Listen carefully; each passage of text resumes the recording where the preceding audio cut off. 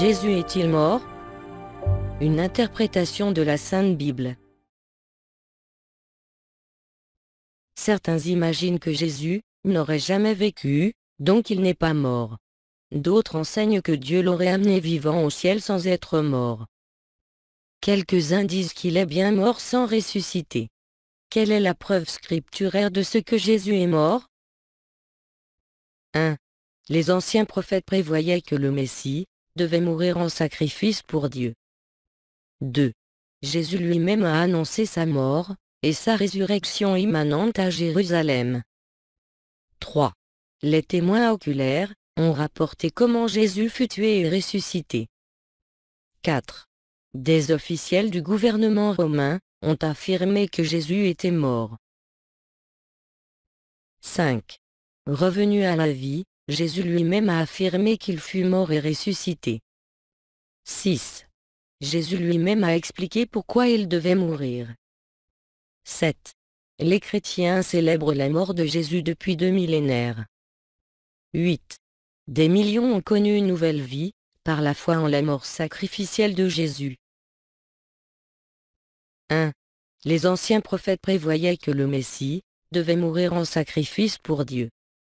Par sa connaissance, mon serviteur juste procurera la justice à beaucoup d'hommes, c'est lui qui portera leurs fautes. 2. Jésus lui-même a annoncé sa mort, et sa résurrection immanente à Jérusalem. Pendant qu'il parcourait la Galilée, Jésus leur dit, Le Fils de l'homme doit être livré entre les mains des hommes, ils le feront mourir et le troisième jour il ressuscitera. 3. Les témoins oculaires ont rapporté comment Jésus fut tué et ressuscité. Vous avez fait mourir le prince de la vie que Dieu a ressuscité, nous en sommes témoins. 4. Des officiels du gouvernement romain ont affirmé que Jésus était mort. Festus exposa le cas de Paul au roi. Ils avaient avec lui des discussions relatives à leur religion particulière et à un certain Jésus qui est mort et que Paul affirmait être vivant. 5. Revenu à la vie, Jésus lui-même a affirmé qu'il fut mort et ressuscité. Il posa alors sa main droite sur moi en disant, N'aie pas peur. Je suis le premier et le dernier, le vivant. J'étais mort et voici, je suis vivant au siècle des siècles. Je détiens les clés de la mort et du séjour des morts. 6.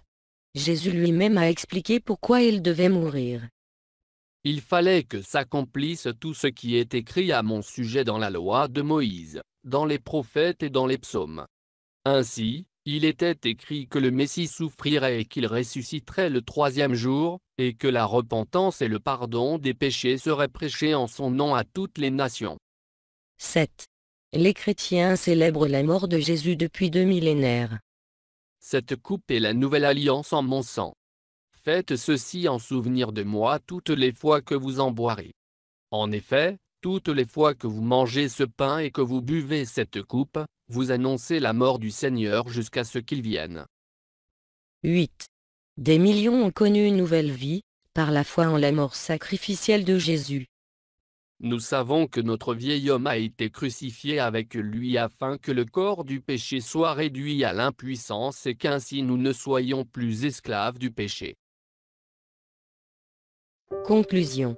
Le consensus des preuves scripturaires affirme que Jésus est mort attaché à une croix romaine, et qu'il est ressuscité le troisième jour.